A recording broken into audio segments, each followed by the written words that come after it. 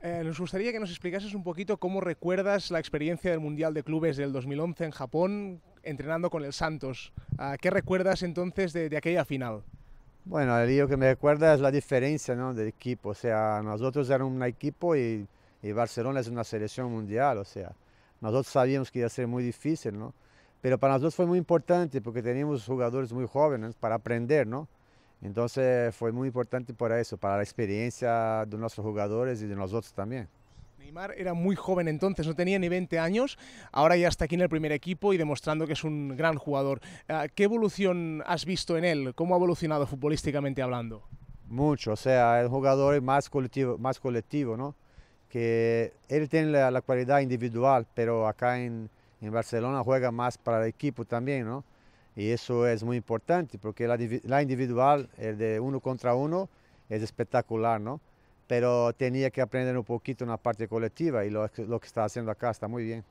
Recuerdo en ese momento Neymar que tenía como ídolo a Leo Messi. Ahora, sin embargo, juegan juntos. ¿Qué te parece el buen entendimiento que tienen los dos en el campo? Muy bien, o sea, él sabía que, que, que Messi era el mejor del mundo, supo respetar eso, ¿no? Jugaba muy en función de, de, Messi, ahora ya está un poquito más suelto, está jugando también lo que sabe, ¿no? Entonces es un jugador que es muy inteligente, sabe el momento eh, que va a ser uno de los mejores del mundo, ¿no? Que no es ahora, pero con certeza se está preparando para eso. ¿Qué te parece el, el Barcelona en la actualidad? Muy bien, como siempre, tiene una idea de, de fútbol, no cambia nunca, eso es, es muy importante, ¿no? Tiene la idea, no se cambia porque un partido no le va bien, ¿no? Entonces, lo que más llama la atención es eso, la, la, la gente de, de la, la, afición eh, sabe que hoy no, no, no, nos importa solo ganar, hay que ganar y jugar bien, ¿no? Entonces, eso es, es muy diferente de todas las partes del mundo, ¿no? En su momento sufristeis al Barcelona entrenando al Santos. Uh, ¿Qué futuro le, le esperas en el Mundial de Clubes al Barça? ¿Es el claro favorito o va a pelear ahí con River Plate?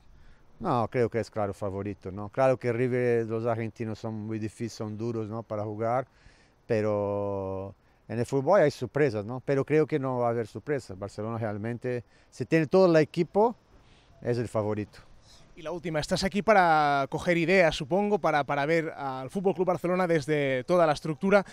¿Qué es lo que más te ha sorprendido y qué esperas sacar de, del Fútbol Club Barcelona? Bueno, es, lo que pensaba yo era la organización y de verdad es muy organizado. O sea, le fui a ver el fútbol profesional, que a mí me interesa, pero lo fui a ver también los niños, ¿no? Cómo lo hacen los niños, ¿no? Porque uh, el, el Barcelona siempre ha sacado muy buenos jugadores de la base, ¿no? Y eso, eso me llamó mucho la atención, cómo lo entrena, es como tiene la idea de fútbol, se juega muy parecido todos los equipos, desde chico hasta el grande, ¿no?